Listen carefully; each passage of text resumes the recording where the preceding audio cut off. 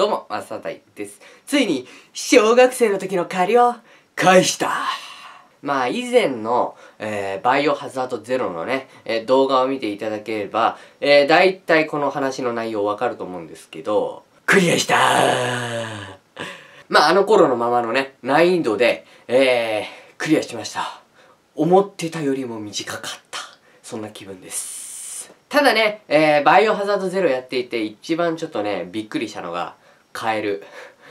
カエルにまんまとやられてしまいました。まあ、何も知識なかったから、なんか、普通にさ、あのー、ね、ちょっと移動して、えー、なんかアイテム取りに行こうかなと思った時に、いきなりカエルがピョーンって降りてきて、あんたこのカエル？と思って、銃構えた瞬間にだよ、ペーペペペペンうわ足掴まれた。あ、あ、あ、あ、ガチャガチャガチャガチャガチャガチャガチャ。なんだこれなんだこれなんだこれと思って。バカ。You what die. 厄介です。カエルが急に怖くなったという話です。いやー、あのカエル本当に厄介ですよ。そして、えー、一回ゲームクリアしたということで、なんかウェスカーモードというのが出たんですけどね。えー、ビリーの部分がウェスカーになってるみたいな感じ。うん。まあでも、ムービーに関してはビリーなんだけど、ちょこっとしたムービーだとウェスカーになってるっていう。まあちょっとなんか不思議な感覚で遊べるようなゲームになってるんですけど、ウェスカーが半端なく強い。やばいよあのなんか赤の衝撃っていうなんかね、遠距離攻撃なんだけど、なんか目からビームみたいな感じの攻撃があるわけよ。その赤の衝撃ってのが半端ないよ。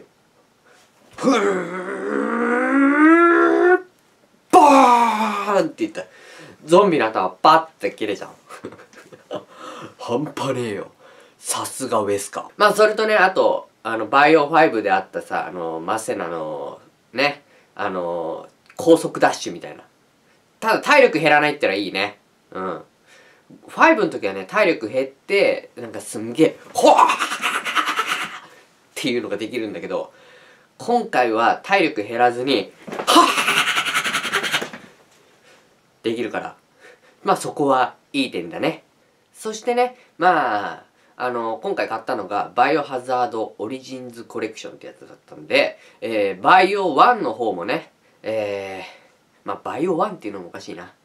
バイオでいいよね。もう、まあ、無印バイオとか、初代バイオとか言うんだろうけど、まあ、バイオでいいや。バイオもちょっと始めたんですけど、バイオ1の方がゼロより怖くね。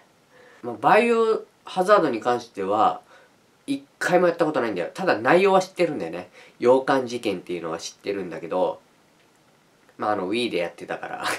Wii のなんかあの勝手に動いてくれるやつでねやってたから。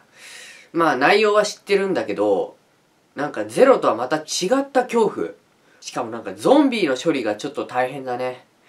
なんかさちょっと調べたんだけどあのー、ゾンビ倒してもダメなんだよ。倒した後になんかね焼かないといけないんだって。厄介だよゾンビ。あれでしょ？クリムゾンヘッドになるんでしょ？うん。あのねその前やってた Wii でやってたアンブレラクロニクルズ。で出てきたんだよ。クリムゾンヘッドってやつ。赤いのがめっちゃくちゃ速いんだ。ちょっとね今体で再現してみよう。まずは普通のゾンビの動き。そしてクリムゾンヘッド。Wii の時はねちょっとねあの走り超怖かったですね。あとなんだっけあのー、オペレーションラクーンシティ。オペレーションラクーンシティの時のクリムゾンヘッドもちょっと厄介だったね。うん。えそれを知ってるのでちょっとね怖いです。正直言ってゾンビ。うん。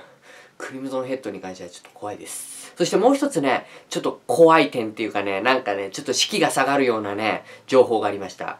あれなんか分岐点っていうのがあって、なんか何分以内に、あの、結成を届けなきゃいけないとか、何分以内にレベッカを助けなきゃいけないとか、バリーになんかマグナム返さなきゃいけないとか、そういうのね、ちょっと、嫌ですね。なんか変なプレッシャーがかかるんですよ。ここに。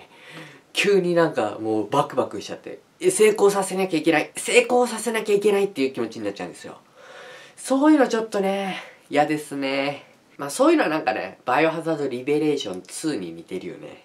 モイラがなんか生きてるか死んでるかみたいな。うん。あー、バッドエンドとか作りたくねまあこれからね、またちょっとバイオ進めていくんですけど、課題はゾンビの処理。うん。それと分岐点の頑張り。あとは即死モンスターへの対処。と、あと、リサ・トウェバーの恐怖への対抗。リサ・トウェバーちょっとね、怖いんすよ。さっき言ったね、ウィーのやつで知ってるんですけど、あの、リサ・トウェバーだっけ？トレバー？設定が超怖いんですよ、設定が。あれ、女の人なんだよ。で、なんか人体実験されたとかさ。もう、アンブレラが怖い。それではまた会いましょう。バイバーイ。